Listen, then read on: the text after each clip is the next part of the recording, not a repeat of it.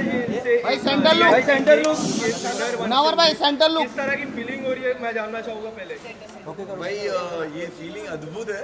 मेरे को यकीन नहीं हो रहा है। अरे लेकिन इसका ख्वाब इसका सपना जब मैं पहले दिन इस गेट से अंदर आया था तभी देख लिया था कि यहाँ से लोगों को देना है बहुत सारा एंटरटेनमेंट और बदले में मैं यहाँ से ट्रॉफी लेके जाऊँगा। और भाई ये बहुत अच्छी फीलिंग है कि लोगों ने इतना प्यार दिया और इतनी इज़्ज़त के साथ बाहर निकाला बस। आप जब आए थे एक अलग इमेज से आए थे now you are going out trophy हाथ में किस तरह की फीलिंग होती है और क्या कुछ रिएक्शन आप एक्सपेक्ट करते हो? बस यही होता है कि आपको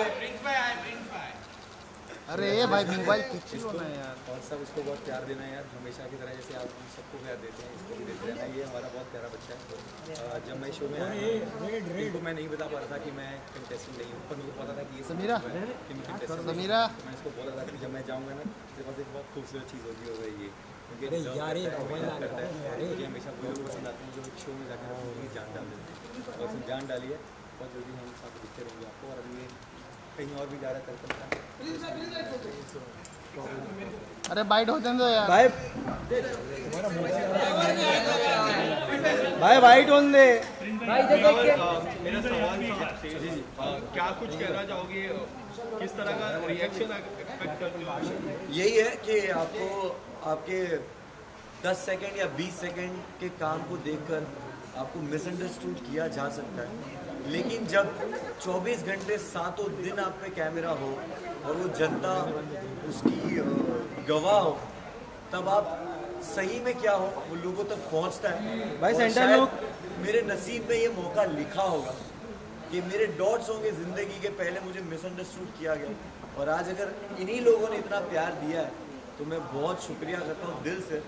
और अल्लाह का बहुत शुक्र है कि मेरे को ये मौका मिला अपने आप को प्रूव करने का मेरे पास बहुत डिफ़िकल्ट ऑडियंस था हर आर्टिस्ट को ये मौका नहीं मिलता कि उसको एक डिफ़िकल्ट ऑडियंस मिले जिनका उन्हें दिल जीतना पड़े तो मेरे साथ ये हुआ कि एक ऑडियंस थी जो बहुत डिफ़िकल्ट थी मेरे लिए बट मैंने वो किया है और मैं आगे भी करता रहूँ Do you believe people are going to see you in a different way uh, when you go out? Uh, because uh, there are so many people who who were seeing you in a different way. Uh, काफ़ी वो दो दो minute की आप jail भी जा चुके थे आप रियलिटी शो के जेल के विनर बन चुके हैं ट्रॉफी हाथ में।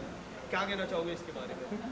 वापस सवाल बोल दो जोना मुनावर आपने मतलब कहीं अपने योर लाइफ इज़ वेरी मतलब आपने एक जेल में भी गए।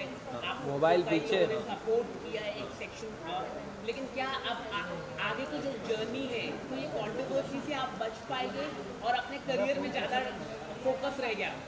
देखो कंट्रोवर्सी से ही नाम बढ़ाना होता तो ऐसी बहुत सारी चीज़ें जो कर सकते हैं। हम दिन रात जोक लिखते हैं ओपन माइक्स में जाते हैं स्टैंड अप कमेडियन हूँ मैं। तो मुझे पता है वो what it takes to make hundred people laugh together जिनका सबका डीएनए अलग है, जो सब अलग सोचते हैं। तो बहुत मुश्किल होता है एक जोक लिखना। और कहीं होता है कि एक उम्र है, एक एक्सपीरियंस से इंसान सीखता है। तो जो एक्सपीरियंस से मैंने सीखा है तो मैं डेफिनेटली नहीं चाहूँगा कि मैं अपने काम से किसी का दिल दिखाऊँ। तो डेफिनेटली मेरे काम से लोगों के चेहरे पे सिर्फ़ हँसी आई आपकी और अंजलि की अंजलि की ट्रॉफी जीती प्राइज मनी जीता ऐसी कोई चीज़ है जो आपको लगता है आपने खोई? जी। जीता तो आपने ट्रॉफी प्राइज हाँ। मनी गाड़ी हाँ। ऐसी चीज़ें जो आपको लगता है आपने खोई?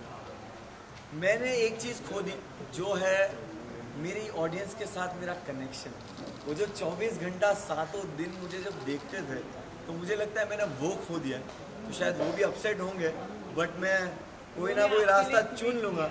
ढूंढ लूँगा उन तक पहुँचने का बहुत जल्द। अंजलि और आपकी दोस्ती काफ़ी गहरी किस तरह से देख कितना डिफरेंट रहा thank you so much thank you Munawar Kangana को मतलब जब आप पहले भी कंगना के लिए आप ट्वीट करते थे अभी जब आप फेस टू फेस मिले कितना आपने मतलब चेंज उनके लिए कितना हुआ है क्योंकि हमेशा कंगना मैम आपको सपोर्ट करती रही?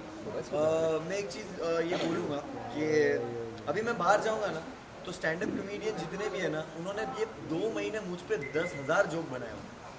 बट मैं जब जाऊँगा, मैं वो पढ़ूँगा और मैं खुश होऊँगा। बहुत सारे मीम्स बने होंगे मुझ पर तो मुझे लगता है कि उन्होंने भी वो लिया कि मैं इतनी फ़ेमस पर्सनालिटी हूँ, मुझ पर जोक बनना वाजिब। तो हमारा ये होता है कि हम जब जोक बनाते किसी फ़ेमस पर्सनालिटी पे हमारा काम इजी हो जाता है। एवरीवन नो द कॉन्टेक्स्ट कि सब जानते हुए कि है कि ज़िंदगी में क्या चल रहा है, उसको मुनाफा ने जॉब करनी चाहिए। तो उन्होंने बहुत प्रोफेशनली उस चीज़ को लिया। I am very thankful and she is very professional and I am very thankful that I I got a chance to work with